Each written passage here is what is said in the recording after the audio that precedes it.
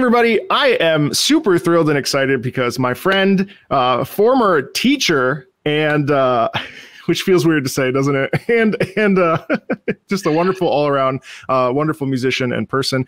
Garth Bardsley is here, all the way from the UK. Hi, Garth. Hello, hello. hi, Marco. Hi. hi. I, I couldn't have butchered that more. You know, I have been working on my British accent. It's absolutely awful. It's terrible. Well, it's better than the American one, so hey, you know. so so Garth, before we start, like you, you are just like you, you do so many things, and I was curious, like, why don't you just give us like a 30 second like who are you? You can go as deep as you like or you can just be very like this is what i do. Or you can you know talk about you know the, the deep quality you know whatever. You, you take the stage well, uh, when I was a chorister at Manchester Cathedral, um, I got into trouble for, or I wanted to leave or something, and the organist at the time said, uh, "You've got to be careful, Garth." This was to an 11-year-old child. If you don't engage and focus on one thing, you'll end up as a jack of all trades. And this thing has stuck with me all my life that I'm a jack of all trades and not a, a master of any. Mm. And actually, I prefer to think of myself as a bit of a Renaissance man. Um, so, because you know, I'm an award-winning opera director. I have right. taught you in America in two universities America. I've got a, a university positions here in Britain. I'm a, a, published author, a lyricist, librettist, um, poet. I work with two wonderful um, uh, composers, and I've had a very busy acting and singing career throughout my entire life, uh, where I've done opera, musical theatre, and to this day, I still do quite a lot of session work uh, with London Voices, and we do um, a lot of film tracks, but we also do stuff for video games as well. So I've been very, very fortunate um, in my career. I mean, it's one of those careers, as you can uh-huh. imagine. Yeah, um, and uh, sometimes the flowers bloom, sometimes they wither. Um, but the, the major, the main thing is, you know, the people I meet, the experiences I've had, um, are extraordinary. Just just returned from Vienna directing to operas with uh, mostly Americans, an American company, and again a, another wonderful experience. Um, and working with young people and doing the session work and that stuff. I kind of feel like I'm still hanging on in there with down with the kids a little bit. Um, fading fast. yeah, I feel the uh, yeah, same. I do. I do. I've always done a lot of stuff. I do a lot of stuff. Um, and I, I, keep writing, and you know, it's it's it's it's wonderful. I think, and and the fact that we're still, you know, we're able to communicate in the way we do, um, mm. 15 years after I taught you, and all that sort of stuff is just yeah. Fantastic. It is crazy. You were the first person I remember because when I was knee deep in opera at that point. I was super obsessed with opera. That was, I think, my junior year of uh, of undergrad, and uh, I uh, I remember you were the first and only person to be like, hey, this is not going in the direction you want it to go. We need to adjust some technical things. And I was like, uh oh. and I remember I was like, yeah, I like this guy because he told me the truth and I, I, trust that. So I, you know, I, have never forgotten that moment in the cafeteria where you were like, so, you said, you said, it sounds like you're singing with marbles in your mouth. yeah, never, never known for my tact. I was like, mm, okay. but the thing is, Marco, what I heard in you was, you know, you had this wonderful Italianate sound. It was sitting yeah. there waiting to happen, and you had the physique, and you had the the the the, the, the the, the, the, the tessitura, you had the yeah. and everything. Yeah. Um, but it was going nowhere. It was sort of just going round and round in your head. And, yeah, and, yeah, yeah. Uh, and you know, you did wonderful things, and you, you became a great singer in your own time. So yeah, fantastic. Yeah, no, it's true. I, I've I was happy with where I where I ended things. I mean, I did. There was always more to do, but in in terms of well, anyway, that's a separate discussion. We don't have to talk about that. Oh, absolutely. But the thing is, you know, you're a good musician. You're a great singer. Um, hmm. You're not doing it today. You're doing it tomorrow. You might do it in a year's time. There's other stuff along the way. I do covers now for video game tracks actually, which is even oh, crazier fantastic. for fun. You know, yeah. and then and then people watch it and let me know in the comments, and they're much harsher than you ever were. So. anyway, yeah, so, it's a dangerous uh, world out there. yeah, sure is, isn't it? so, uh, um, so my plan for today is uh, just a bunch of video game songs. Some you may know, some you may not know. Probably you may not because I know that you're not uh, like super well versed in video games. Besides what you've done in session, which what have you done in session? Well, I always forget everything. I've done Final Fantasy several times. We did live concerts with those, which were just which one? Oh, Distant Worlds. Uh, 25th anniversary. So it was um, nice. Okay, so about ten years ago. And, and, a, and a, lovely story about that was uh, that they they decided to do this world tour, yeah. and um, they got in touch with the Royal Albert Hall, which seats five thousand people, mm-hmm. and um, they said we'd like to book a concert. It's a, it's a, a video game thing to celebrate 25 years, yeah, and and and so the Royal Albert Hall thought oh, good, we can give them um, November the 5th, which is bonfire night in Britain. So, because no one wants to book that in Britain. So, this date's oh. empty. So, they said, you know, we'll give them that and th- whatever. So, they said, oh, right, fine. Not knowing what it was, fine, we'll do November yeah. the 5th uh, the box office opened within two hours it had sold out. Yeah, I know. And then we did another version of that uh, about a year later. And of course, there's, like, a oh. mini, there's a little mini opera in Final Fantasy, isn't there? Draco and Maria, yes, Final Fantasy VI. Draco and Maria, yeah. Did you sing in that? You sang? Did you yeah, sing? Yeah, yeah, yeah, yeah. I didn't sing that. Ah. No, my fellow Philip Philip Sheffield sang. Um, nice. Okay, and I forget Ro- Rosie. Um, well, then you've I, have included one track in here from uh, a couple of tracks in here from. Final and Benjamin Fantasy. Bevan was the bass in it, and he is an international baritone. So you know you had Crazy. serious singers. I mean, seriously, seriously good. But you singers. know, but this this opens up a serious discussion, and, and part of the reason why I've been doing this and introducing people in the classical world to to music like this is because I actually feel like it, I my personal mission, my life's mission, is to to really get this video game music to be set, not separate from with these pops concerts, as great as they are. But you see, even the Royal Albert Hall, that five thousand people, if you program a Beethoven and Mozart and then an intermission, and you throw in some Final Fantasy in there or whatever, like Monster Hunter, no one's going to be worse for the wear. You don't even have to say who it is. Like you just, and they're going to be like, wow, who's this new composer from Japan who's been doing it for thirty years? I think there's that's a huge dis. Obviously, there's money involved and and you know, all these other Yeah. things. But but that in my ideal world, we mesh uh, you know, video game music with the standard classical repertoire, and then everybody benefits. Uh, why not? Why not? This, yeah, why not? So anyway, first thing we're going to listen to today is called Archange. It's from Ace Combat Seven. Uh, it's uh, Ace Combat Seven is uh, a fighter pilot game where you play uh, you play as a fighter pilot. Uh, it's very intense, and uh, I would would call it a, a new oratorio. And um, it's fantastic music. Uh, it's it's it's got like a weird mix of not this particular track, but Ace Combat Seven has this beautiful thing that it somehow is able to combine like 1980s bands and 90s bands like Steely Dan, the Eagles, uh, you know, uh, ZZ Top kind of stuff with like um with also like like full Latin chorus. It's a very interesting musical experience. So um so Garth, the Most, link- most of the Latin we sing on these things is absolute made up nonsense. Um, it sounds like Latin, but we're just every single time. It's great. there's actually I'm- I actually might be on this. I'm not quite sure.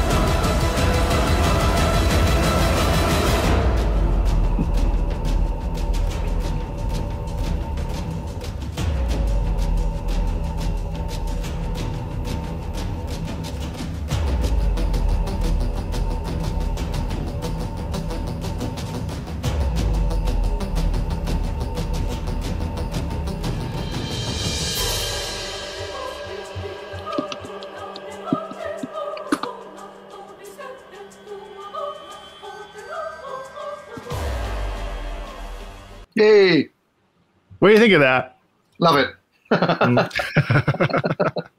oh, love it. What's not to like? It's What's uh, not it- to like? I know. what's not to like? You know, it's um, it's really interesting because why you know when we do all these session sessions with um, with choirs in it, often, often, often the choir is so far back in the final mix, you you you don't get it. You know, it's just it's Mm, something yeah, there. yeah, yeah, yeah. Um, but but so it's put into the mix. But it's nice when it's when the choir's really up front. I was doing a um, one a couple of years ago, and London Voices were the very very first choir, session choir, to ever sing on a on a James Bond film track. And we did I forget which one it was, about three back, two back, or the one that's going around Rome. And so um, Ben Parry, who runs it, convinced uh, the, the guys said, look, you know, you're in Rome. Why don't you have a choir? You know, think about St. Peter's, and that's what they did. So we, we, we were the very first choir to ever appear on a on a on a thing. Um, this is brilliant because, um, but why? Why why do they why do they choose that sort of sound? So you've got this plain song at the beginning, this plain Mhm. song, which um, which as soon as I heard it, I thought, oh, th- this is going to move into something because it's it's being sung regularly, so it's in a regular beat. Whereas Yeah, yeah. plain song is is much more fluid and will taper away and then come back and sort of comes and goes a little bit. Um, so as soon as it's because it was set for, you're thinking, okay, so this is going to be picked up and Mhm. it's going to be become something. So I was aware of that. Um, so even then, the, the, the fact that, that it was actually uh, being sung rhythmically and consistently Yeah. started to create tension. So you actually started Right. to feel that this tension is, is building up. Mhm, And then, of course, when you have that break, and then it suddenly cuts back in, um, and then you and you've got all the stuff going on in the, in the background. It- it's great. And then plain song itself, you know, is, is suggests The Exorcist. It suggests something holy and evil. There's some strange things. You know, why do we hear choral music in that sort of vein and think of devils or black angels, dark angels, rather yeah, than yeah, yeah. whatever. So, so it, it has that wonderful quality, a kind of um, you know holy ritual kind of heavy music, um, has this dark quality to- to it as well. This sort of fearful thing that sets you, you know your nerves on edge and that sort of stuff. Um, and then when it's you know hooked up with a really good persistent rhythm and that kind of rock beat, the, the steady four and all that stuff, it's um, Yeah. it's Yeah. very compelling. It drives you on, Yeah. and and it also makes you feel like um, because there are human voices involved. I think there's a a sort of sense that something's at stake, something real is at stake. It's not Yeah. just music to make you feel something. It's like, oh, these people are getting excited. These people are sounding desperate. These people are sounding ecstatic Mhm. or whatever. Mhm, So mhm. it's sort of, you know, not sort of, it really does connect with human in the human level because Yeah. we're thinking those, we're hearing a- human sing in a particular way or scream in a particular way. And, and it builds our own stress up, I think, as well, and, and Mhm. excitement. Um, Yep. So, you know, it, it, it ticks all the boxes, doesn't it, really?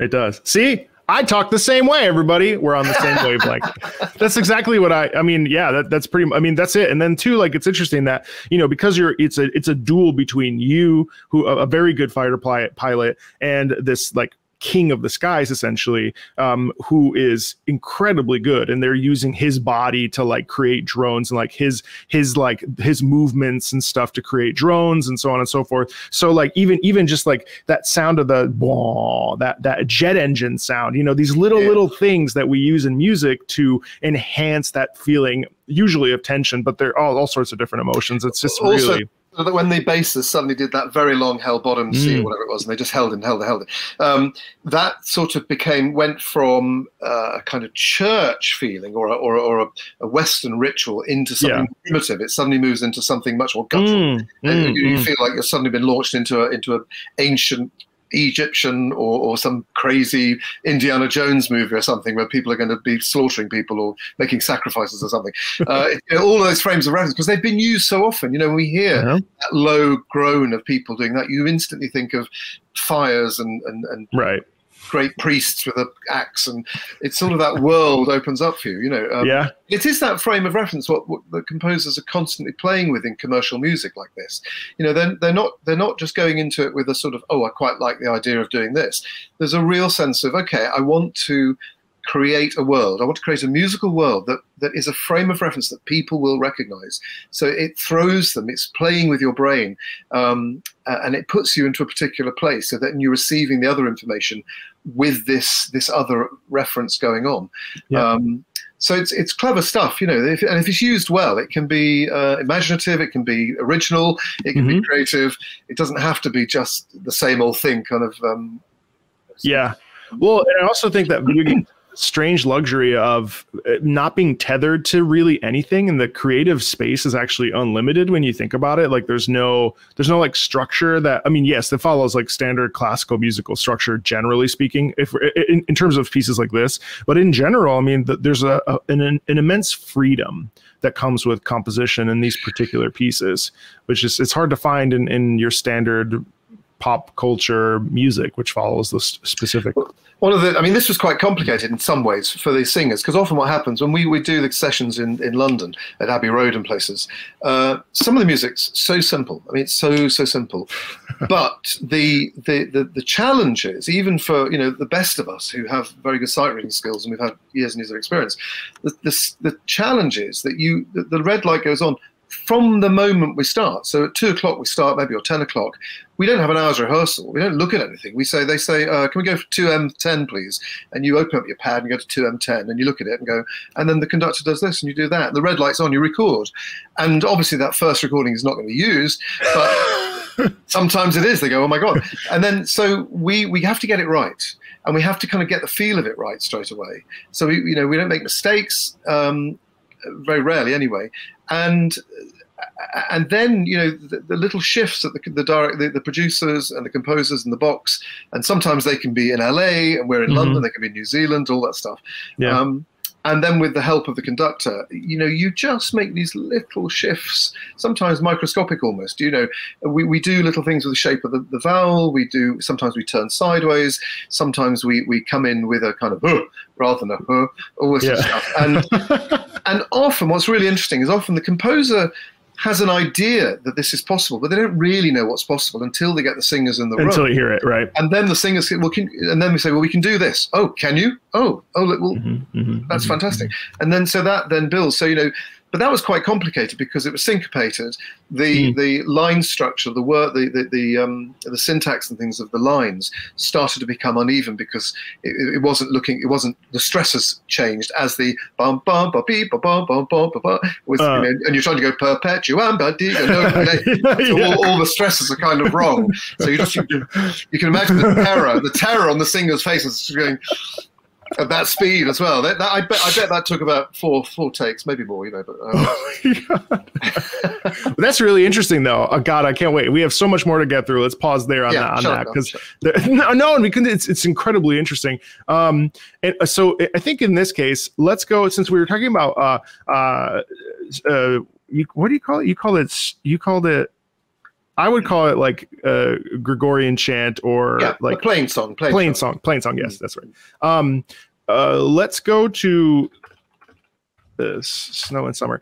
Um, so this is actually in a made-up language uh, called the Chaos language for a game called uh, NieR. In this case, NieR Gestalt, and um, it's fantastically, I would say, avant-garde, but also uh, classically based. Uh, it's very interesting.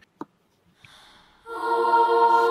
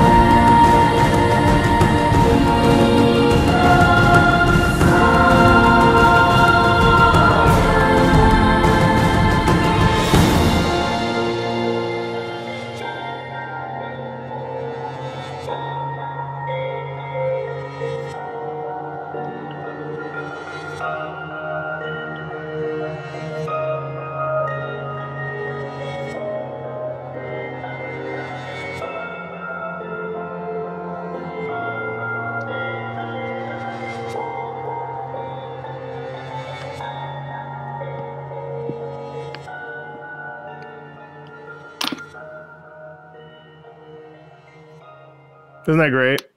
That's good. It follows a similar pattern to Archangel, isn't it? But I, I think I think uh, just some some of my thoughts. Uh, it just the, the fact that we're using children's ensemble, I think, is such an interesting and fantastic touch. And then I, I think I think also there's some um, uh, because it's a chaos language, which is intended. It's like a mixture of a bunch. It's like almost like uh, what's it called? Uh, um, what's that? Uh, uh, oh God, what's the what, the ro- when you mix all the Romance languages? It's called uh, Esperanto. Uh, so Esperanto, uh, yeah, yeah.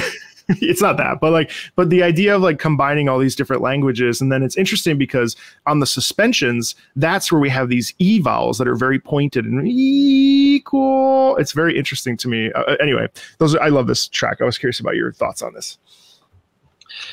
Well, the things I've written down that came to mind straight away. Again, it's the frame of referencing, these cultural references that you get. Mm. So, little boys singing uh, in this sort of manner again is either holy or it's evil. There's again Evil, this yeah. balance between this Mhm. this weird, but they're also they're, they're empowered. There's al- when you hear children sing this sort of music in this sort of context, you somehow feel that these voices have power. That you know they're, they're angels with power. They they are they're, they're like the three boys in in um, Magic Flute. Somehow they Yeah, yeah. have you know they have power way beyond their years and knowledge way beyond their years. And so they're like looking down and being able to express this this emotion or this this this um, narration or whatever's going to happen next. Um, and somehow they're untouched by it. It's just like they're a greek chorus or something but Mhm. a child's version. Um, and because and they have this pure quality it's sort of this purity about them unsullied and untouchable.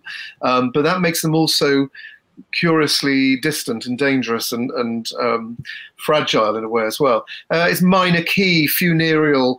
It, it sort of has this sense of a long journey that needs to be undertaken. It feels like Mhm. someone's setting out, burdened with loss and. These are the. This is the plot, by the way. Okay, okay.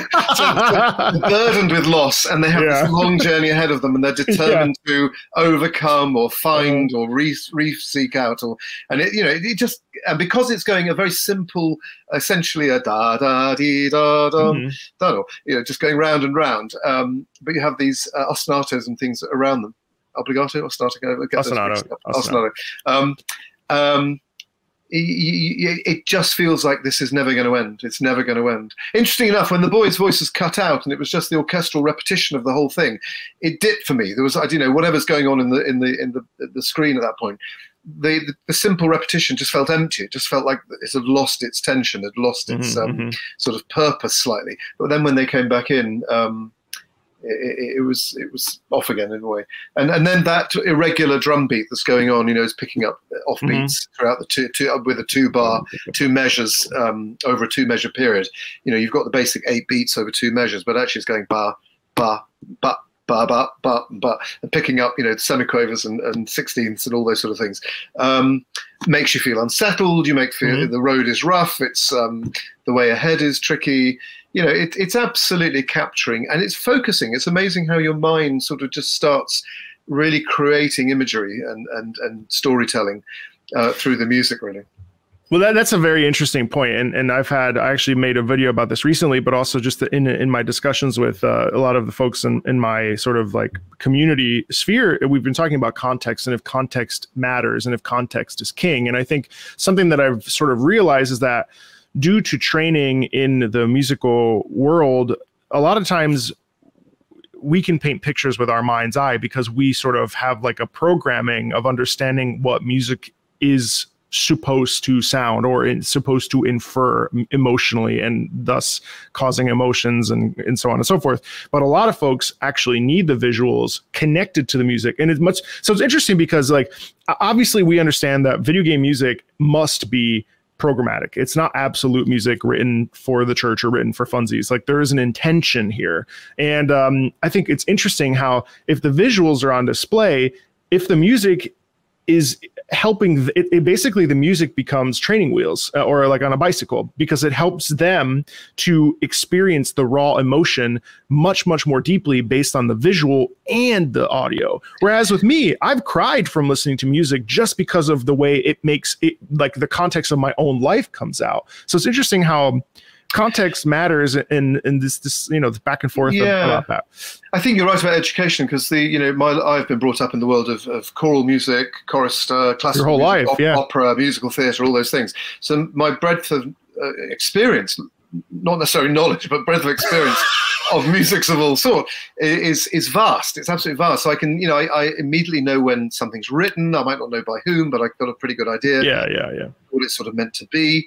Um, interesting enough, yesterday my wife was listening to a, a BBC, a Radio Three program, which is called uh, Music of the Movies or something. It's on every mm. week. And I sort of think it's a bit of a pointless program myself because um, someone describes the guy describes he, yesterday's theme was pink. Everything was about being pink, and it was whether oh, because of Barbie. Yeah, I guess. Yeah, of course. so he was going into all these movies that, that reference pink in some way, and then so telling a little bit about it, and then playing the music. But without the actual imagery, the music sort of is meaningless a lot of the time. It's just you know it's there to support the imagery, as you said. Mm-hmm. It's helping. Um, now, just occasionally, you know, in the olden days, of course, of movie making, uh, and, and a lot of mu- movie screenwriters now, um, music composers complain about this, is they say we're not allowed to write great tunes anymore, great melodies, you know, Lara mm. Or whatever it might be, uh, Dr. Zhivago, or these extraordinary, epic, beautiful, beautiful, exquisitely yeah. and the, the, the Henry Mancini songs that went with it, all this sort of stuff the, the, producers don't want that now. They want music that is is is micro in, uh, managed in a way that fits the action, that supports the action, that doesn't necessarily step out. But when the music is allowed to step out, it's amazing. It's quite mm-hmm. extraordinary. And if you think about it, things like uh, the Thomas Crown affair and and um, uh, Butch Cassidy and the Sundance Kid, mm. there are complete sections of those movies. They're the only music and just action. There's just there, and the action is just stuff going on, but the music is is allowed to step forward and just take over for a little bit. Um, so it's it's a fascinating and the educationist thing because you know some people will cry to music that I would turn off, and and, and the music that that would draw all my emotions out might leave us other people really quite cold. And so I think you're absolutely right that coupled with imagery, coupled with context, that music then starts to have a different effect, and it has a different a different effect on the listener and the, and the viewer, um, because they may never have never come across this sort of music before. So actually. Right. When they turn on this thing, I'm going to play a game. Suddenly, they're getting all this, you know, a thousand years essentially of what we've just heard. Exactly. It goes a thousand years to to plain Gregorian chant, um, mm-hmm. 800 years. That's what it's all based on. You're suddenly getting 800 years of musical history uh, and you didn't get it. You didn't know, did you? Of course you didn't. But, That's um, the trick of it. Yeah, exactly.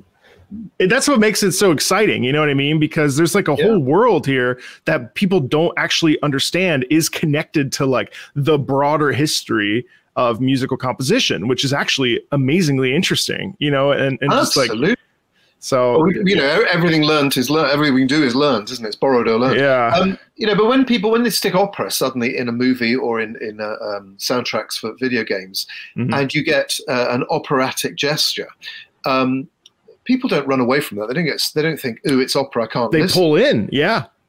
Absolutely, I know. And so, and then if you sort of think, okay, well, let's just take that, and and the problem is slightly time scale thing because, you know, you get four minutes, six minutes, ten minutes maybe of something and it, and it turns you on and you get excited about it and you listen to it how do you then say to someone actually there's a load of that stuff in this three hour opera if you want to well, try it. yeah. Oh god, that's so funny. Well, I, I, have started doing like um, operas with an opera singer where we'll watch an opera and then I'll literally just talk through the whole thing, which is not the intended I mean, that's not ideal. I never want to sit next to you in an opera ever.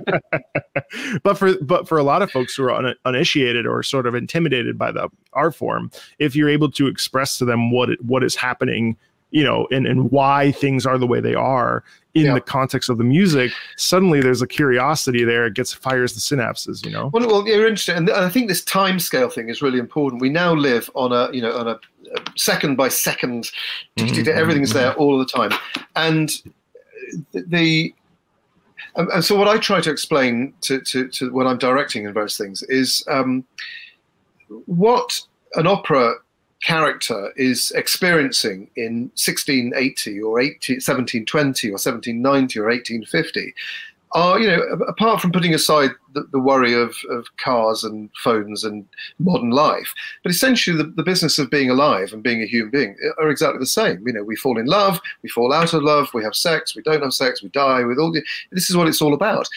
but it's the speed of which it's running. Now we are an incredibly sophisticated um, society now because of the speed of digital the digital world we live in mm. and the layers that we understand. You know when we're watching a, a, film or a tv or a netflix whatever it might be there are so many layers going on to these things um, and we get them as an audience for the most part. We get them without even questioning. It, to step into the world of opera or symphonic music or classical music which where all this stuff is derived um, does demand, in a way, a, stepping away from that speed, right. stepping stepping into a world where you say, "This woman who is going to scream at me vocally for the next twelve minutes is essentially struggling with the same thing that took 30 seconds in my game right. but it's now we're going to live it out we're going to experience it more you know we're going to, to sort of um, so i think if people do are interested the thing to do is just turn that that speed thing down just turn it down and just let it come to you just experience it and imagine the real life trauma of, of something that's really going on on stage. Uh, you know, in, in, some ways, opera is is in time scale sometimes more real than movies because you know we allow mm-hmm. someone to sing an aria for 12 minutes because they've lost somebody and they are distraught or they are yeah. terrified. You know, whereas we get 30 seconds in a movie or maybe two minutes or something. and you're right, though; it is more. Uh, let's move on, though. But, but the conversation's great. I know, no, it's awesome. Uh, Please make sure to like and subscribe this video. Thank you. Um, listen to all this knowledge. No, no, but but actually, I mean, I think it's an interesting point you bring up too, because as you know, with like let's say with grief, like you just mentioned, 12 minutes of an aria is more realistic than 30 seconds because grief is a thing. I mean, it took it took uh, my grief counseling ended at exactly a year and a half after my father passed and that and i started to feel better around month 11 uh, of going to grief counseling because you know you wait a little bit before you start. But she i said to her i said i feel very strange about this. How come i feel now that i don't think about him with that sort of pain and suffering? And she was like because this is the natural process. And that natural process takes 12 minutes of opera time to to do in real life. So you're right in that sense where it's like, you know, 30 seconds in a movie kind of you kind of like highlight it, but the truth of the matter is that the longer a piece is in a, in a in a music situation, the more you actually it's more akin to real life. It's very there's, okay, a, there's a wonderful movie called Truly Madly Deeply uh, with Juliet Stevenson, made golly 20 odd years ago, maybe 30 years ago now. But there's a sequence uh, where where essentially she just cries for a long time. Um, and it, it's terribly painful to watch. Um, it's about the loss of her husband, I think. I, I can't remember quite the story. Uh, and it stood out at the time as being a remarkable, sort of daring, dangerous, you know, asking an audience to essentially sit with someone mm. grieving, deep, deep grief. And people don't want to do that. Very, very tricky. The thing about opera, of course, is you can experience this but actually you have this music that allows you that keeps it moving keeps it mm-hmm, keeps the mm-hmm. storytelling going and allows you to move to a different place and by the end of it you you, you know you have arrived somewhere else maybe yeah um, it's, it's, all it's all complex stuff. I know, I know. well, let's uh, let's pivot uh, to something that isn't uh, classical music, uh, and then, oops, I still have tracks I want to share with you. Um, so this is uh this is by Chris Christodoulou. It's called "The Rain," formerly known as "Purple," which is an homage to "Purple Rain" by Prince. I'm sure you know that song. Yeah. Uh, that wasn't like an age comment, just for the record. Just saying. You've heard of the Beatles, haven't you? but uh, but this is a, like, this is by Mozart. That's not an age comment.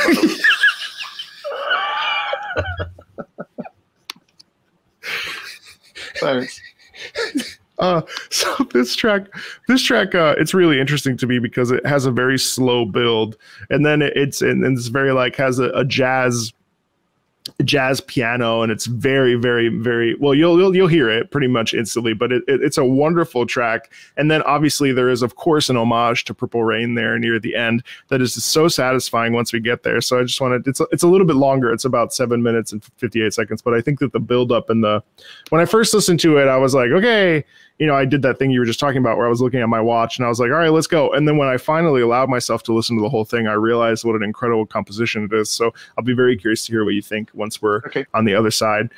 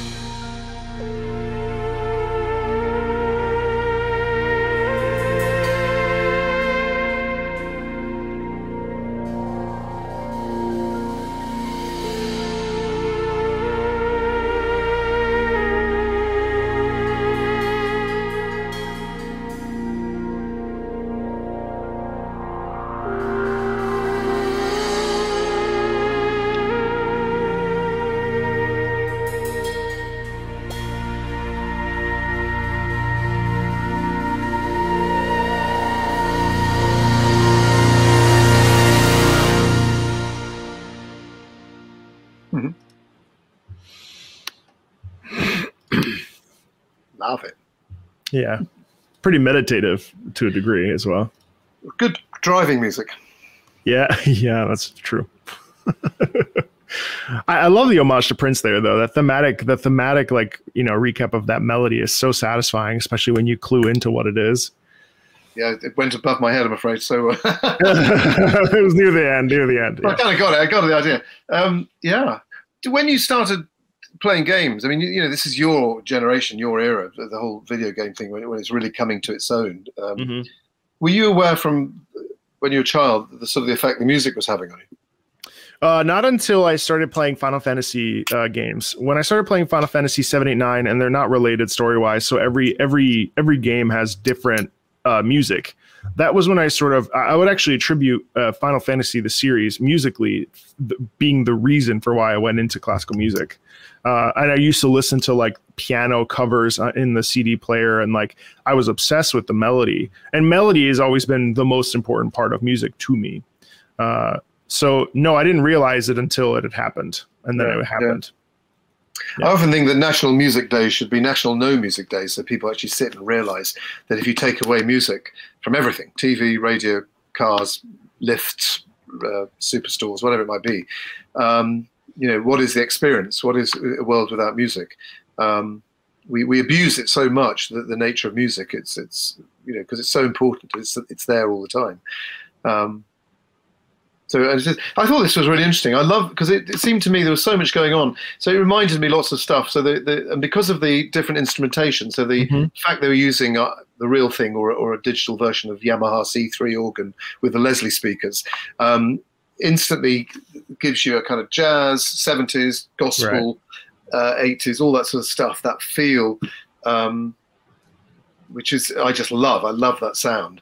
The fact that it was absolutely a kind of standard rock ballad feel, you know, the slow rock ballad uh, in four, the, um, and the fact that essentially it was a repeated four four note structure over and over again, uh, a kind of ground bass. And I was thinking as well, you know, this, this rock thing, which is this ground bass essentially. The bass just does the same thing all the way through. Mm-hmm, mm-hmm. You know, people had cottoned onto this several hundred years ago, Purcell and Bach and people, knowing exactly the the, the um, and, and things like the everybody has for their wedding the um, what's it canon, Pachelbel canon.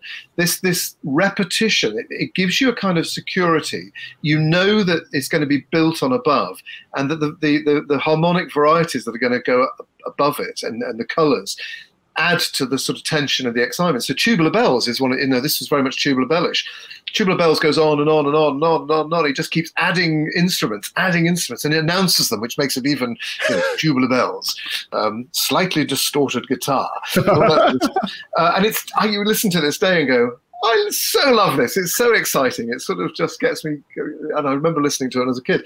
Um, so you know, and this is exactly what this does. It essentially has this very simple ground bass, da dee da da, and then and that's mirrored in the final uh, uh, of all the solos, all the bits they have da dee da dum at the end of each uh, uh, section, so which you can kind of hook into. You know, it's then going to be repeated the next uh-huh. bars or sixteen bars. Um, but at the same time, it just feels like it's you're just driving, you're meditative, you're there, you're in a groove. I put nice mm-hmm. groove. Nice uh, it's, rela- it's relaxing, and those standout guitar solos are pure 1980s. Yeah. Rock you know the world of which is actually an interesting point about how electric guitar melodically speaking is actually in some ways even more to me to me is actually more enticing than the voice sometimes because of the range of that electric guitar. It's like yeah. such a it's like it's such like a, like a tenor key type thing but it also is so incredibly satisfying and like i feel like the emotional output of an electric guitar as it ascends up is so incredibly emotional I think it's, it's the same cool. as a violin, isn't it? You've got the violin. Yeah, yeah. You can play pretty low on a violin, but then you can get stratospherically high. Um, and so that that stretch, I think you're absolutely right. You know, I'd never really thought of it like that, but I think you're right. And that sort of plaintive cry that the, the, the electric guitar can have um, can really tune you when it when it's great. It's really good. Well, it's like um, uh, Thais variations. You ever heard the Thais yeah, meditations? Yeah. Not variations, meditations. Like that is a prime example of when the violin. Yeah. And if you've never heard of the Thais uh, uh, meditations, you absolutely should. They're absolutely stunning. But you know, just that ascension up into the yeah, it's, it's gorgeous. Yeah. Anyway, keep going. Yeah. Sorry. I think well, something that came to mind. So I was thinking you know this this ground based thing is is it hooks you in. It's a very secure but exciting possibility because you know that things are going to develop above it, and and and then you get these clashes. You get clashes of sounds. You get clashes of instruments together.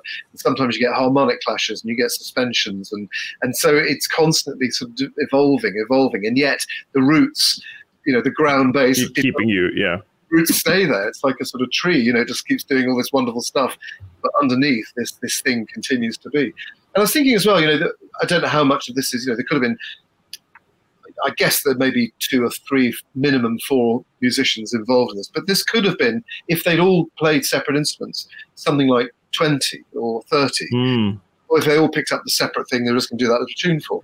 And I was thinking to myself, you know, what people often don't realize when they're listening to this stuff, whether it's in the movies or in, in videos, is the fact that there's a 60 piece choir singing that there's a, a 60 piece orchestra. I mean, often the orchestras aren't that big. The orchestra's about 32, but mm. they have a range. It's a symphonic orchestra, and they'll add to it. They'll have a you know electric guitars, they'll have saxophones, whatever they need. So it's a kind of morphed version of a, of a classical orchestra.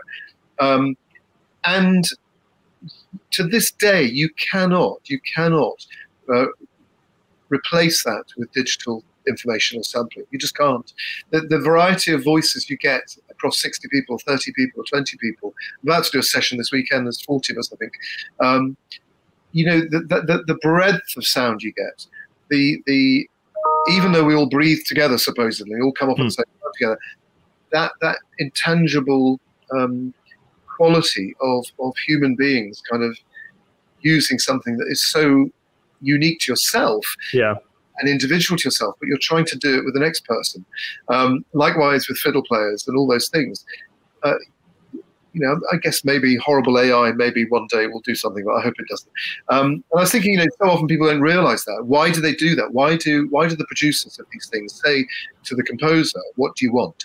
And the composer says, "I'd like a 40-piece orchestra and a 60-piece choir," and the producer goes.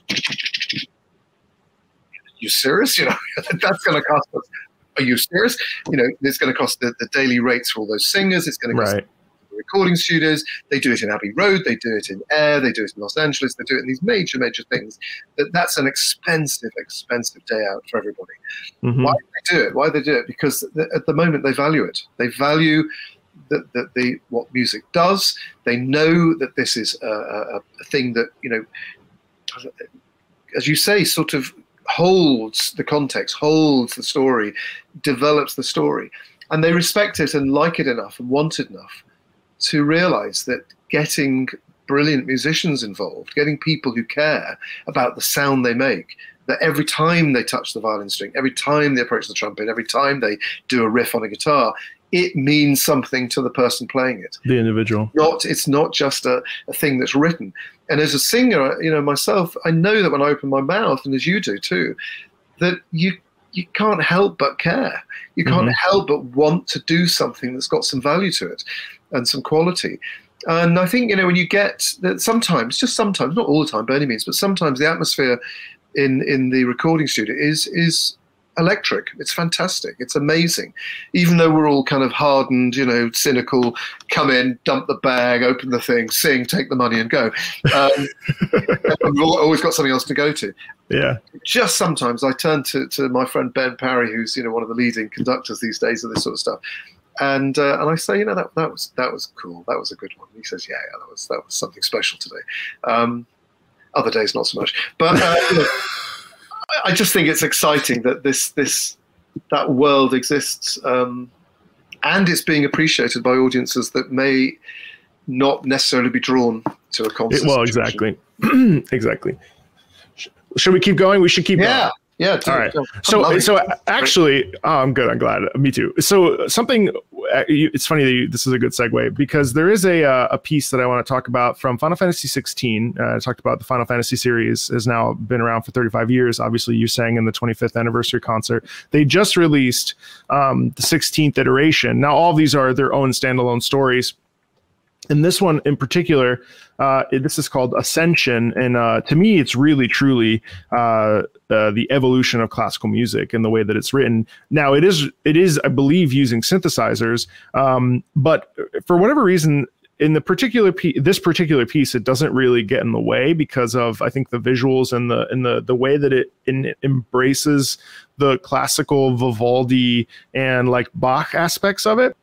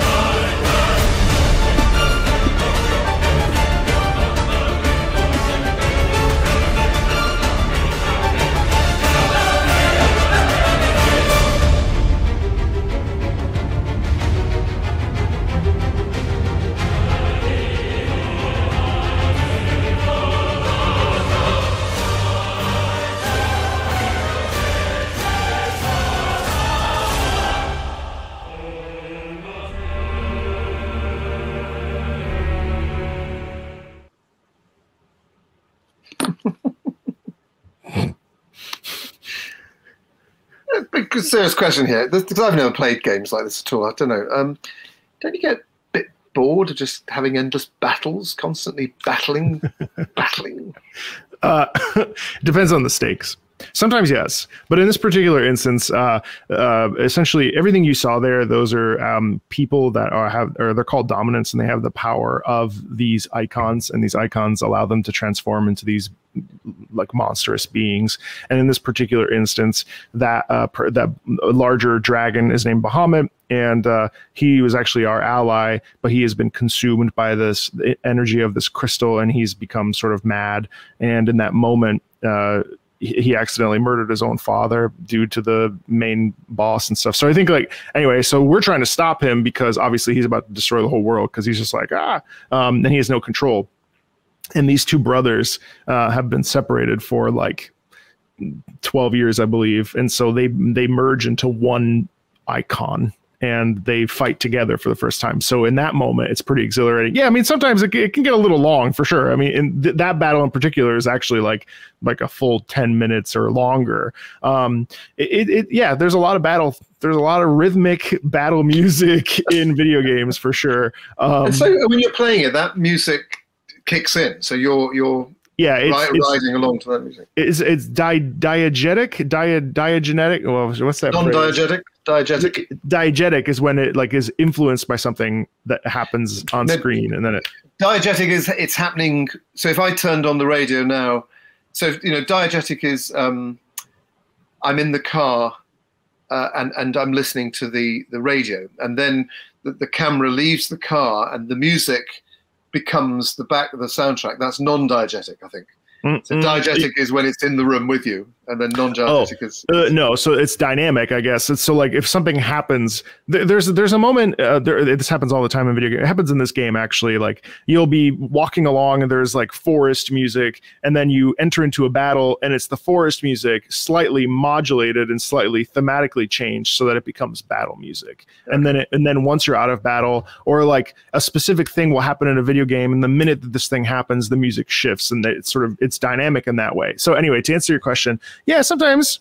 but that's also why people like it. You know, in this particular case, that's a very story-driven game with the emphasis actually on the story and that but music. The stories as well. The stories. I mean, this just seems to me. Um, so if you in in medieval times, if you go to the uh, the, the, the, cathedral Albi in in France, um, there's you know there's these ex- and one of the end there's extraordinary uh, Day of Judgment uh, murals on the wall. These great, mm, enormous mm, things, hundred feet high, and on the the left hand side, as it were, you're tumbling down into hell, and you see all these terrible, ghastly, gory things going on, and then on the other side, you see you're rising up to the right hand of God, and you're going to sit on the right hand of Jesus or. Mm-hmm. Um, and so, and it's absolutely aimed at a, an illiterate, um, uneducated congregation coming in, and they sit, and when they, they, look at these stories, and they say, if you're bad, you end up on that side. Right and if you're good, you end up at that side. And so much of these these video games seem to be essentially that sort of illustrative, religious themed, good, evil, um, about some sort of morality against immorality, some sort of you know challenge. Uh, do you think? Do you think that? I mean, is it becoming a kind of pseudo religion? This kind of thing that that we you buy in. You know, you're up to 35 years of Final Fantasy, and you're mm. still battling uh, with good and evil. It's a kind of endless religious experiences? In some ways. I, I think for some people, yes. I think that the stories, because that that is especially especially. I mean, not all games are like this, obviously, but in the case of Final Fantasy, yeah, there's always this moment where you are fighting a big bad, and the music. You know, I'm sure you sang "One Winged Angel" on that concert you did. Um, you know, or in Final Fantasy VI, you fight literally uh, a, a, a clown, a jester that becomes a god and he destroys the planet and a bunch of really messed up shit happens because of him. Uh, yes, and that's Dancing Mad. It's got organ music in it. It's 13 yeah. minutes long and people revere it. Yes, yes, of course. In Final Fantasy in general, there's always this conflict between good versus evil, and they just modify it around. So to answer your question, yes, I, I do think, and I, being a part of the fan base, there is a certain degree of I wouldn't want to call it religiosity, but there is certainly uh, something that is appealing about about that that quality of good versus evil that uh, do you think that's because you can actually do something about it? You can actually win. You can you can see good overcome evil. Maybe yeah. For me personally i, I don't know. I, I you know that's a really interesting question because i've never even asked myself why i love those games so much. Um I mean, I really love the characterization. I love the characters. I love the lore, and and yeah, I guess so. I guess there's something so satisfying about uh, Darth Vader type, and you know, the force of good versus the force of evil. And yeah, I suppose if we're looking at it from a psychological perspective, yeah, probably. I mean, the idea that like at the very end, you know, it's also a formula. You know, you're oh, yeah. gonna fight the big bad, and and that is satisfying when you beat it and then also the music happens to be very good and that is one of the main reasons why i play it because the music is phenomenal um, yeah are you saying that because it's like sort of boring or, or is like it's sort of like lack surprise no, or? i just wonder whether it's a sort of um, well, a sort of a comfort place in a way, a place that people go to because actually there's some I think, sort yes. of recognized like that. Yeah, yeah, and, yeah. and and for a lot of people, in a way, organized religion's a bit like that. It's a place of security and repeated stuff and safety and all that stuff. I think also connection to characters, which so it's interesting because I actually don't I don't really like associate like bonds to character. I don't think this is a single video game that I'm like, oh, that character, I love them. I don't but there are many people that attribute and connect to and attach themselves to character. I mean, I mean, I guess that's not true though I, for me because I could say like The Office. I used to watch The Office, the Amer- the U.S. English version of The Office. Um, I uh, sorry, the U.S. version, not the, the English version. Um, I used to watch that every time I was depressed because like connecting with those characters would somehow like fill some void. So yeah. I suppose in theory, yes. I mean, that's actually a really interesting point for the comments. If you want to, you know, do you, how do you connect to Final Fantasy? If you connect to Final Fantasy, be curious to see what other people's responses are. And, and the music is huge. It's just epic, epic, it's epic, a, epic music. Not all of it, of course. There are like nice town themes and things that are not epic. I'm giving you a lot of epic stuff today on. I love the fact that as well, that he was, um, which composer did that one? Number sixteen. Uh, Masayoshi Soken. Right. He's the uh, he's the predecessor, or the not the predecessor, the uh, the the the uh, who's the, the, what's next? Well, he's the composer after Nobuo Uematsu, who was the the composer of uh, who came first. to the concert of the Royal Albert Hall, and when he stood up and walked around, the place went yeah. Wild. Absolutely wild. And he's a self trained musician. I mean, it's actually really? astounding. You know what I mean? And you yeah. sang his works. Like a yeah. lot of his works are wonderfully, I mean, there's like themes from Final Fantasy III that are just so beautiful and so classically based. I mean, there's yeah, just you know, yeah, no, it's a bit like a. mean, there was everything in that one. There was there was a whole Slavic dance moment where everyone sounded like they were Russian or peasants, you know, or, or, something doing some sort of. Easter it was probably dance. the journey from. It was probably Distant Worlds. Was it Distant Worlds? No, but the one I've just listened to then, there was a whole oh, this Sla- one. Oh, yes, section. Yes, yes, yes, yes, yes, uh, yes. And uh, and then there was a bit of Mozart in there, and there was a little bit of um, you know, the, the, the bigger choral stuff. It was fun. I mean, it's great fun to listen to. Uh, well, then let's let's switch gears then, and we'll do something different then, because we have had a lot of intense. Let, let's listen to. Okay, yeah. So I actually want your perspective on. Uh, oh, this is another battle theme though. Balls. Okay, well, so this one features ancient Chinese, which is really interesting. Uh, from the actually, this just came out. Um, it features hold on music from it's uh, lyrics from uh, the Dong Dong Dongju Dag Dage, the Grand Song of the Dong People, and so uh, this company MiHoYo, um, their games feature a lot of uh, ancient, like with pretty much everything they do. So like they have multiple regions in the game. Uh, the first region was called Mondstadt, that was all based around Western wind instruments because the god of that area is the the god of the wind. And then you have Liyue, which takes place in ancient China, their interpretation of it. And so you had a lot of Chinese instruments. And then in Inazuma was Japanese instruments. So you have a lot of giant Japanese, but then you would have like trap music combined with the Japanese instruments. And so this is from a game, Honkai Star Rail. And uh, it's a very good piece. And it still somehow is modern, uh, but connects to that sort of uh, the, the Chinese culture. Um, I find it I find it fascinating. Uh, and uh, yeah, let me know when you're ready. And I'm ready to go. Here we go. Too many battle themes. I'm sorry, but that's just how today went. I'll, I'll find some slower stuff. I got some slower stuff in here.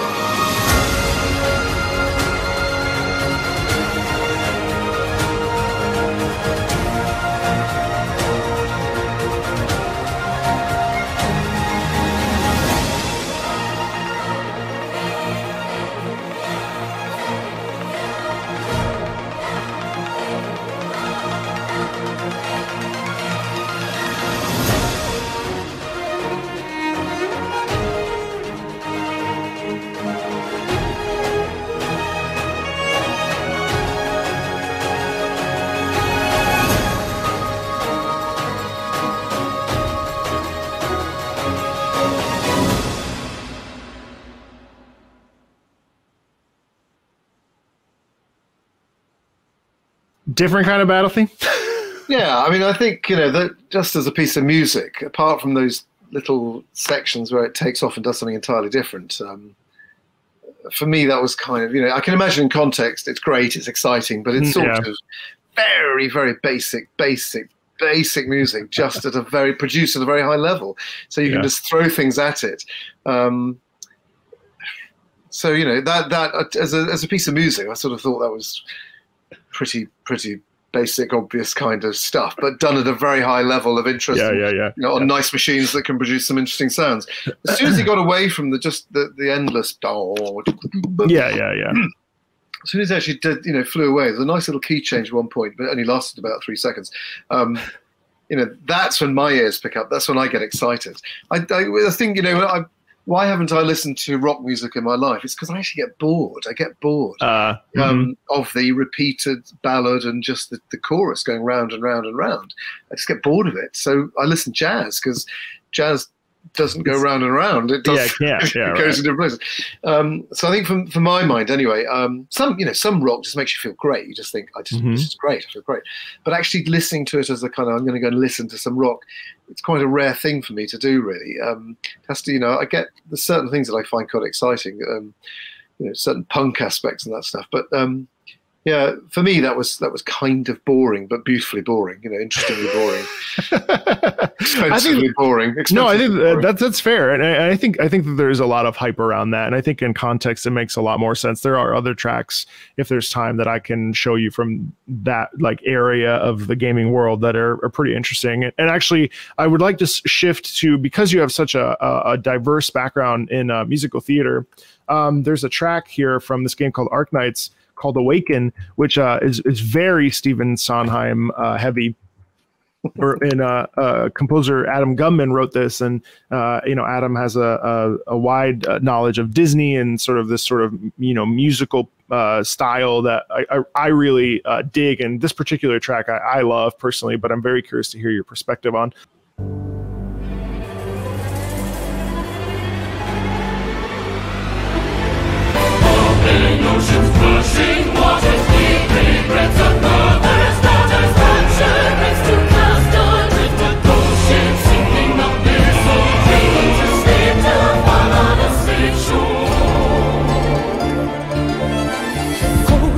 Paper while building a dam. They are flooding circuits to find who I am. Make a list, write it down in time. All, sometimes resign to a world where the center is never aligned. Make a move, take it back, it's mine. Gathering drops and filling the ocean. I'll take every part of me, take it all and put it together like building a boat. Cheers as the horns resound. Tangles those who drown, carrying myself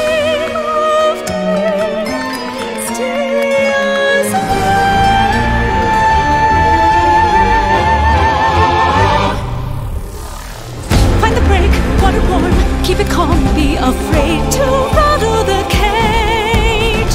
Take a risk, take a dive, take it down, suddenly surrender, take back everything. From the open shore, I will learn to fly, soaring past the great divide. Voices that surface seem to call out all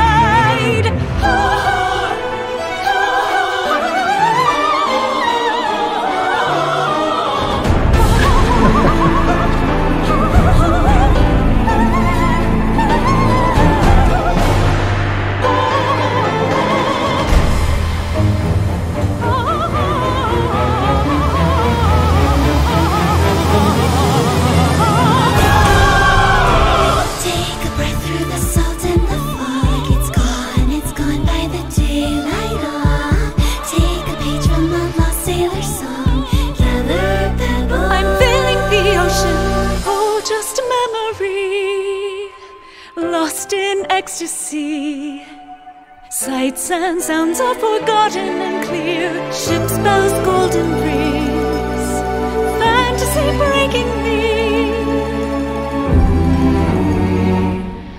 From the open shore, I will learn to fly, soaring past the great divide.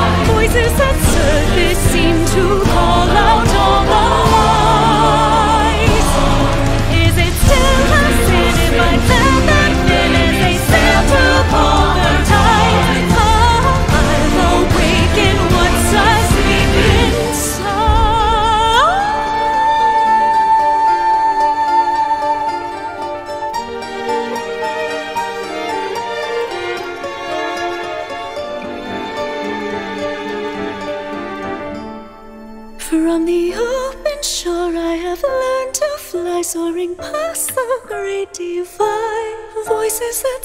seem to call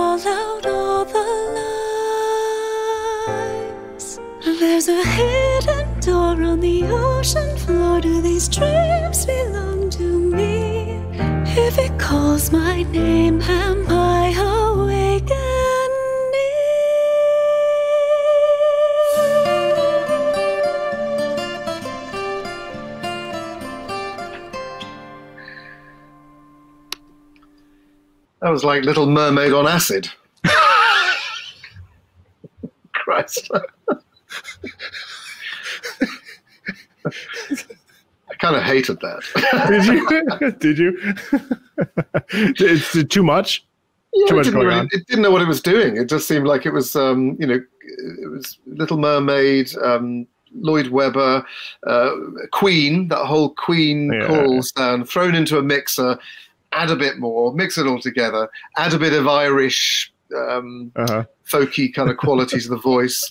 And you just, what the hell was that? It was just- I respect that. I love it, but I strip totally it away, strip it away. Get to get back to Mhm. and also the, the feeling of the, the to me that you know as a, as a writer myself the, the the feeling of the words with the music it all felt like it was just too mm, hyper it was mm, too mm, fast it just needed to just I don't know did, did, none of it matched to me really I don't know I found I got that quite hard work All right. I, Well, didn't, I didn't know what it was trying to be I didn't know what it was it just seemed to want to be everything yeah. I was hoping it would stay in seven eight, but it didn't. It shifted to six eight, and that was a shame because all the opening sequence was in seven eight. It was going da da dee da ba da dee da Uh-huh. dee da, and then it went da da dee da, da, and off it went. Um, interesting though. I mean, it's an interesting world, isn't it? Suddenly, suddenly you're again. You know, why not? The, the, and if that's if that leads you towards um, uh, another kind of musical experience, why not? Why not?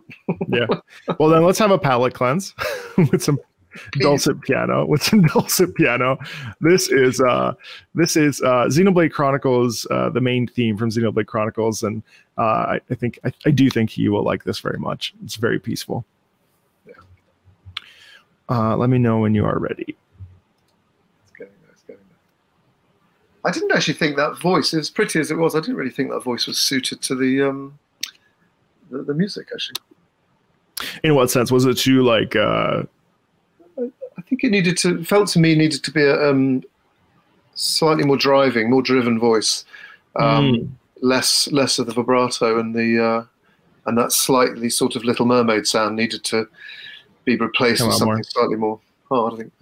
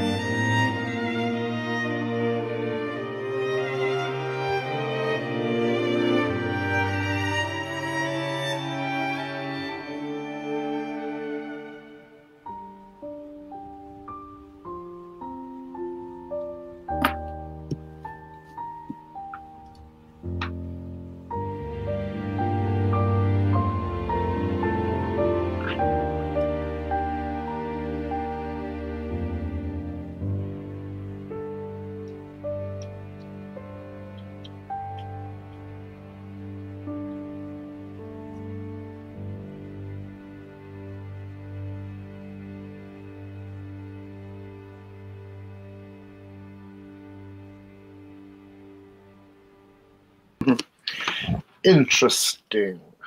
I think one of the problems with, uh, to a certain extent, with listening to track after track after track, you start to hear the, the repetitions and the, the sort of the um, patterns. the pattern, the tricks that people use all the time, um, because they kind of work, I guess. Uh, So Mhm. they keep going back to them. Um, what, what, to my taste, what, what slightly just this is why it puts me off a bit is is because it keeps repeating it never gets anywhere it never really develops you never get beyond the opening sequence. And ever and it's a pretty tune and that's nice and it starts Yeah. quite nicely.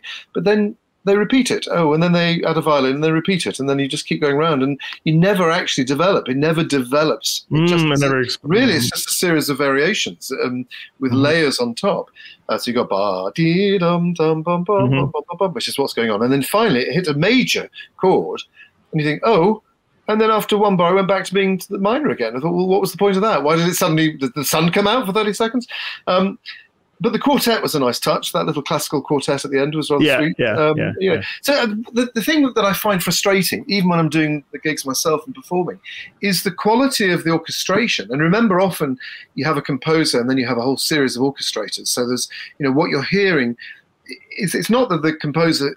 That's not what the composer didn't want. It is what they wanted. They said, you know, they know they've they've made it very clear to the orchestrators what they're looking at and everything, and then the orchestrator delivers it, and then the composer tweaks and decides whether it's what they want. So you've you know, so it's it's often not just one person; it's often two, three, four, five, six people in a single uh, track, a single track, and some, and definitely over an album to do with a, a video game. You will have lots of orchestrators working for the main composer. Mhm. Um, and so sometimes you get fantastic orchestrations. I mean, really, truly beautifully, you know, beautifully spaced, really intricate, interesting ideas coming through, exquisite solos, all this sort of stuff, and nice combinations, uh, which is the work of the orchestrator. We forget that. We should credit them more.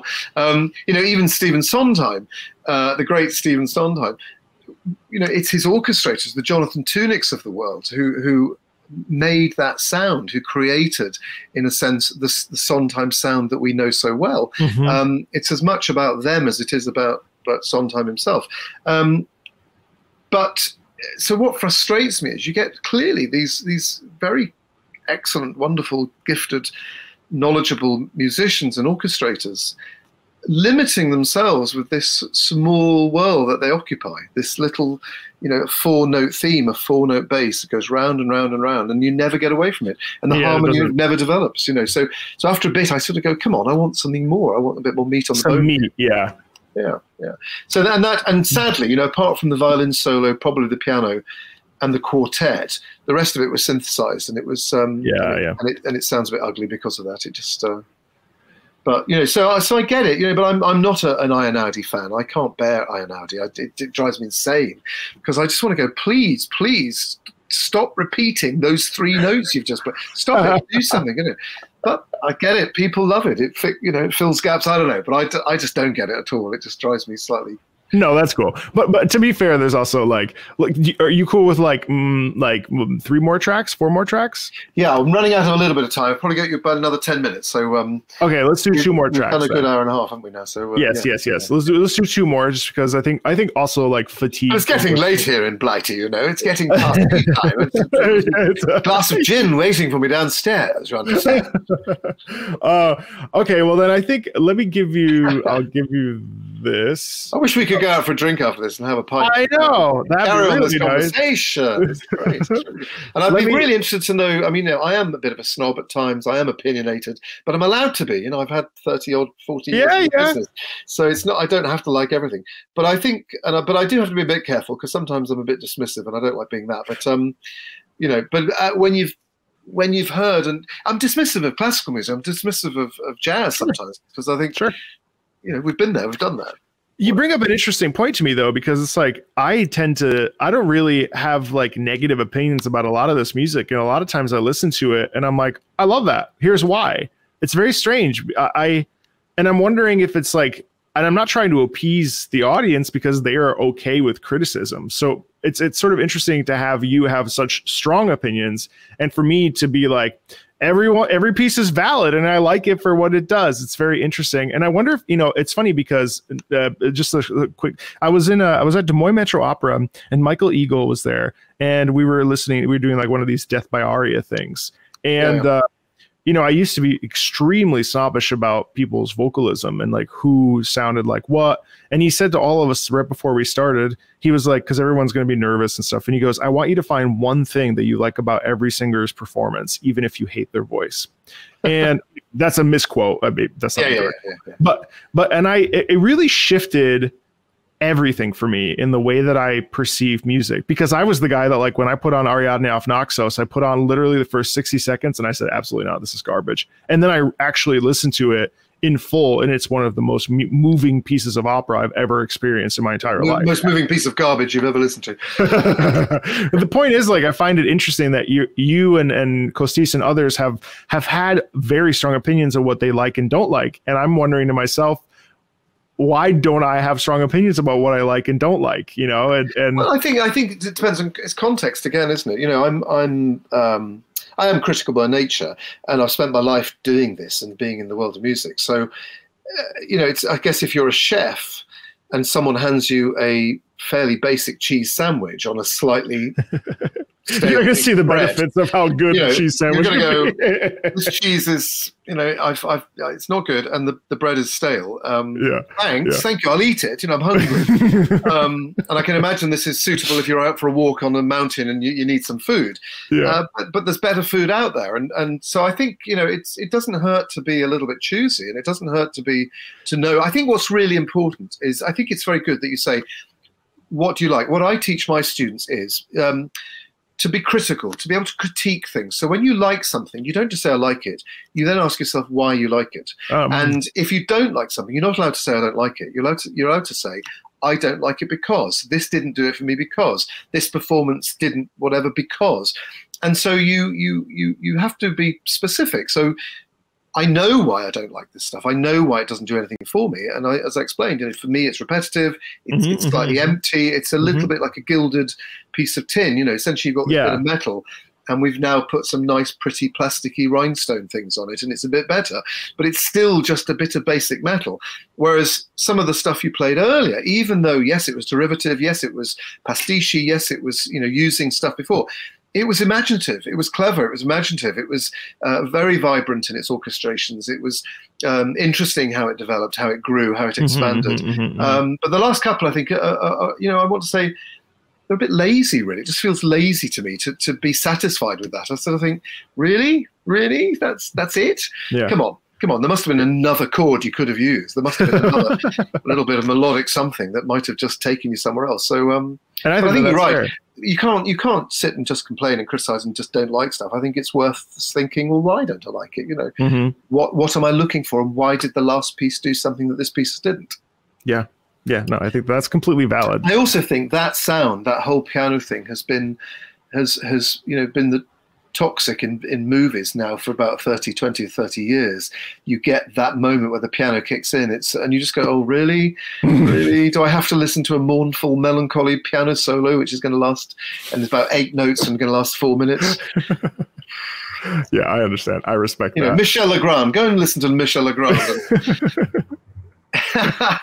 Well, then uh, let's let's check out this. We'll do two more pieces. They're both Yeah. uh, slower. So let's do Arthas, my son, first. So Okay. that's the one I sent you uh, first, I believe. that's right that's Okay. ready to go yeah here we go Yeah, all right. Three. This is like your standard choral thing. So here we go.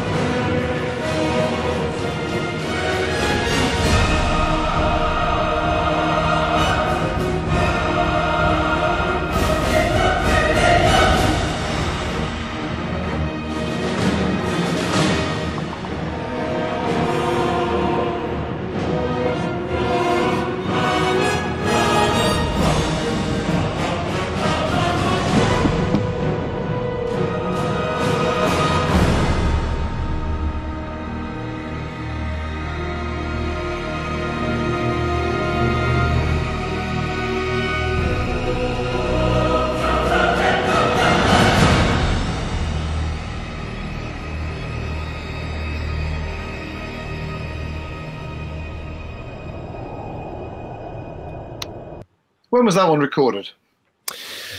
Oh boy, that was from the uh, Wrath of the Lich King uh, World of Warcraft expansion. So I would say that came out. That came out. That expansion came out in uh, 2008. God, it's been going that long. I did two World of Warcraft um, Did you? recordings. Yeah, but well, several. One was for Blizzard Yeah, Um, yeah. That came out later, and um, another one What- that was a year, year before that. So about 2015, 2016. What? Oh, I wonder what expansion that was. Uh, that's cool. So, so you understand like the musical style of this, obviously. Hasn't moved on at all in 10 years. I mean that, yeah. they, they, I mean, I think they just tried some new stuff with uh, the new expansion, Dragon, Dragon something. But yeah, I mean, in general, it's very like choral heavy and very like That's, orchestral. that and- is absolute. I mean, it's it, it again. It does what it says on the tin.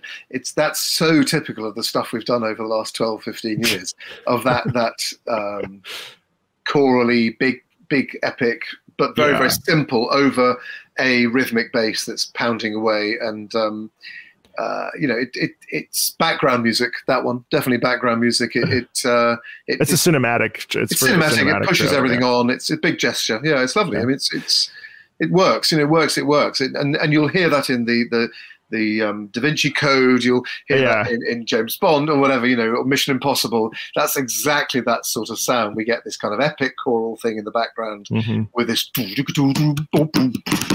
Well, there's like some big crazy stuff happening on, yeah, on screen. yeah. Yeah, It's it's sort of just it makes it again. It just raises the stakes. It suggests there's something more important than the individual. There's something epically worldly or godly or holy or heavenly Mhm, or mhm, something. Um, it's uh, it works. It just works. It's a fra- it's a cultural reference point in the West, especially Yeah. that we get all of the time. It's just there in big epic movies and, and games all of the time. Yeah. Um, and it's there for a reason. It, it, it does exactly what it says on the tin. It takes you to a place of heightened awareness and heightened excitement, and Yeah. um, and somehow it's more impressive because there are these heavenly voices and you know pleading for mercy or something. Um, well, Yeah. let, us it's- round you know, out. That's a, that's like a sort of jazzed up version of Verdi Requiem, isn't it? Really? I Aspects of mean, yeah, pretty much. Carmina Burana. It's got that same The Yeah, same Car- style. in a way, they're all trying to capture the Carmina Burana element. Uh, Yes. of ba, ba, ba, beep, boom, boom, boom, boom, Yes. ba, da, dee, da, da, boom, boom, ba, dee, Yeah. da, da. Yeah, Uh, yeah. Great big Yeah. uh, choral gestures. I mean, they, they work. They're fantastic. I think that's doesn't stand out more than others, but it's it, it's, Sure. it, it's brilliant. You know, it works well. I do want to ask you really quickly, like, has this changed your um, perspective on video game music at all? Like, what what has this sort of like listening to all of this in sort of one fell swoop sort of done? Has it has it done anything? Has it done nothing? Like, are you is it intriguing? Is it less intriguing? Is it you know what what's your what's your take on on video game music now? Obviously, you've performed in a bunch of it, but So, so I don't think it's. Um, so I haven't I haven't been surprised by anything in the sense Right. of oh that's a really different approach and sound. Um, s- yeah, I've, I've everything you've played in a way today I've sort of done apart from that crazy crazy Disney thing. Um, although we d- we did do the re-recordings of um, of uh, Beauty and the Beast for for the for the whatever the release, the new release. Uh-huh. We, we did Uh-uh. all, all the all those things. So I got to be in in a, a Disney cartoon thing for a bit. Um, bonjour. Um, so what have we learned? Um, I think what I've enjoyed about this is so yeah, the music is the music, and none of it surprised me. I've liked some of it very much, and I've been and, and you know in a kind of tubular bells kind of way. I've gone along with it. You know, it's it's it's, it's exciting stuff, and it's um and beautifully put together. What is interesting, I think, for me, is that actually just considering it, what it's trying to do, um, what its aim is, who it's trying to entertain, attract, engage.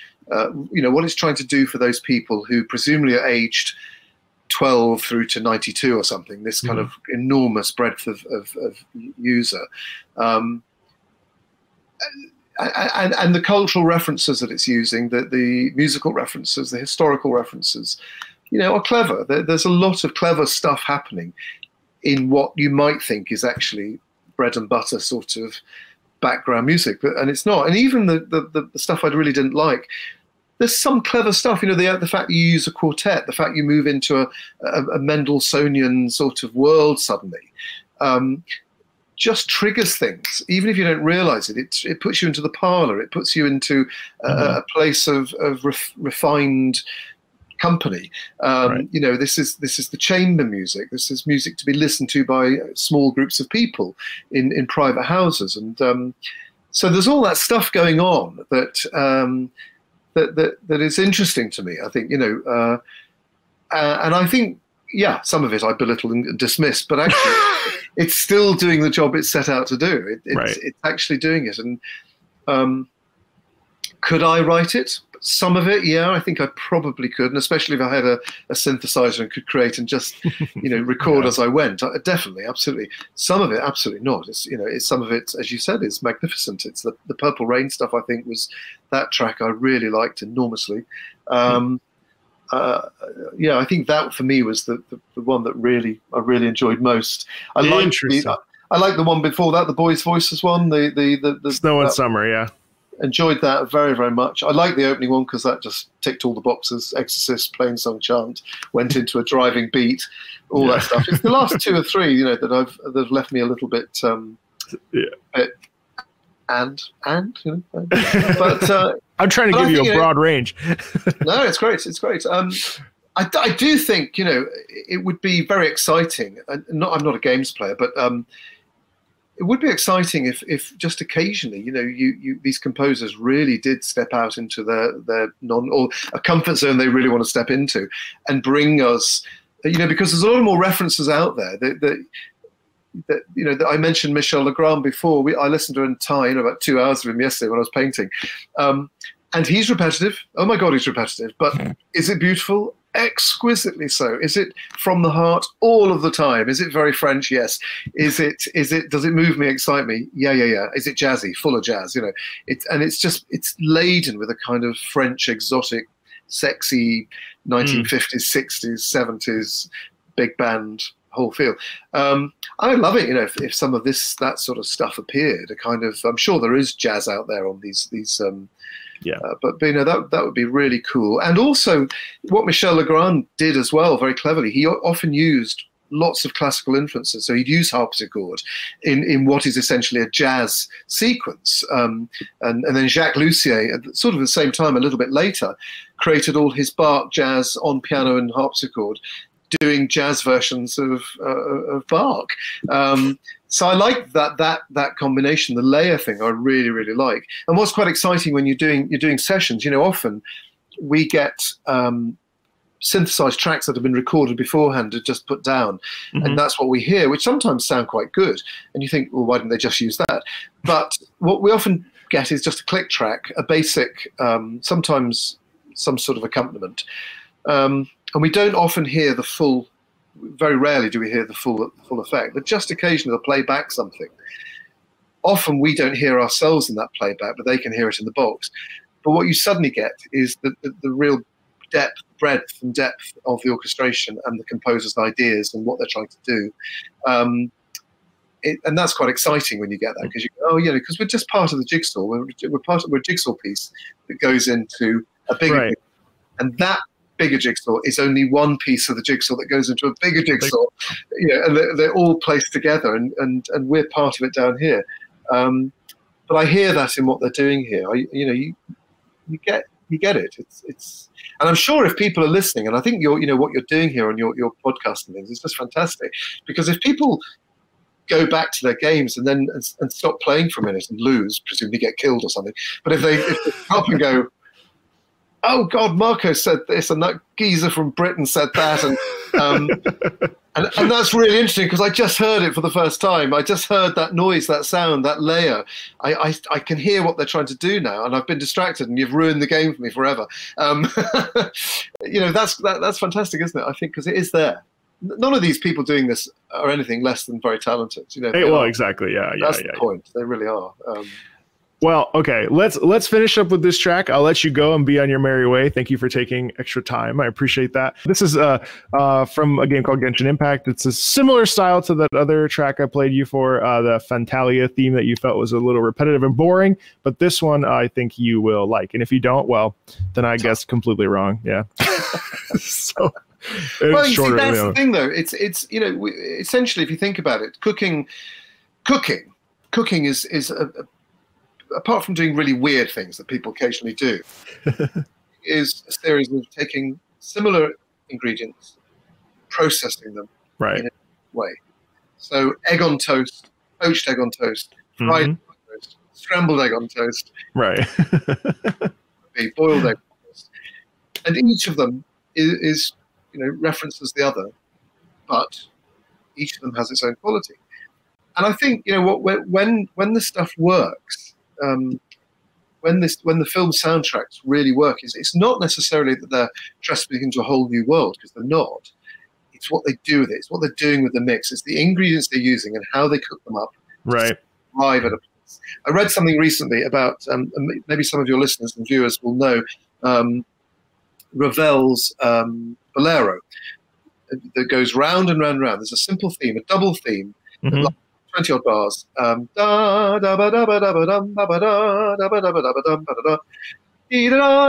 goes like that. the drum goes all the way through it. 171 repeats on the side drum. That's terrifying. Even more terrifying is the guy who has to join him halfway through. Yeah, yeah, the other guy. Yeah. But what I so this piece goes on and it's very very famous. But what it's really famous for at its time was he was coupling instruments that had never been coupled before. So he'd stick a piccolo with a trombone or a clarinet with a thing mm. and a harp. And, and, suddenly you get these, and he puts them in fourths and fifths. So you get these overtones, these harmonic overtones, um, which sound oriental, they sound magical. No one had ever done this before. They'd never put, you know, a, a, a clarinet with, um, I don't know, a, a bassoon at, at a particular interval doing that's what makes that piece utterly, utterly remarkable and listenable to because listen to because it's it's brand spanking new. When right. he wrote it, it was brand spanking new. It's not even a bolero, by the way, because it's too slow. But it's um, it's a brilliant piece of music. Yeah, and you could easily say, "Well, this just repeats; it's boring." But when you actually yeah. like isolate those and